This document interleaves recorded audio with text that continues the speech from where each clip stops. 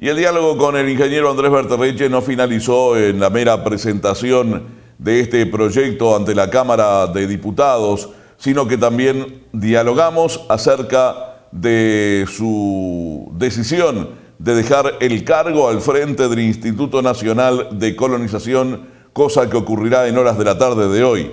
Tras la renuncia que se concretará concretamente a las 15 de esta jornada en la sede de la institución, Berta Reche pondrá en práctica su militancia en representación del Movimiento de Liberación Nacional para postularse en las próximas elecciones como segundo senador.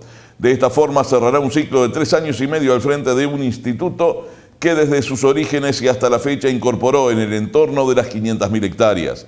Cuando restan horas que deje su mando, compartimos la entrevista que le realizamos al jerarca, quien habló con nuestro programa y realizó una puesta a punto sobre su gestión al frente del instituto. Nosotros nos estamos yendo mañana eh, al, del, instituto porque los compañeros me pidieron que me integre a, la lucha electoral y por lo tanto no, por, mandato constitucional no puedo estar en un ente autónomo.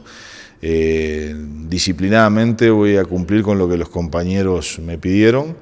Eh, y tengo que hacer un, balance tremendamente positivo, por lo menos en la satisfacción de que lo que vinimos a, hacer este, lo hicimos. Hemos aumentado sensiblemente la compra de tierra, hemos aumentado sensiblemente la velocidad y, la calidad en las adjudicaciones, llegando a, a menos de seis días adjudicar eh, cada fracción.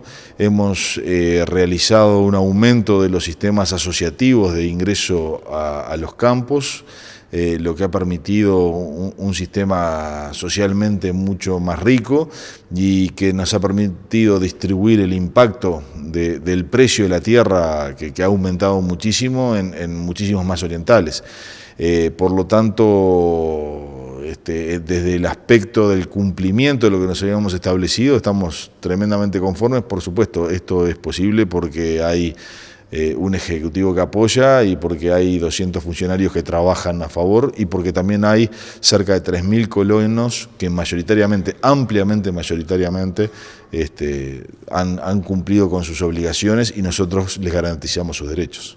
Se entiende entonces que ahora va a haber continuidad un poco con quién va a estar sustituyendo su cargo en lo que va a hacer con las políticas hasta el momento. Sin lugar a duda. Este, nosotros somos servidores públicos, no, no, no, no tenemos otra función y el que venga atrás va a tomar la bandera y va a seguir. Es decir, no, en eso se podrá profundizar y mejorar, es lo único que esperamos. Pero este, no, no, no va a haber cambios en las políticas. De hecho, el directorio mayoritariamente continúa y bueno, este, todavía queda un año y algo, y un año y medio casi de, gestión al, directorio que queda y seguro que va, a seguir instrumentando este, intensamente las políticas que estamos llevando adelante.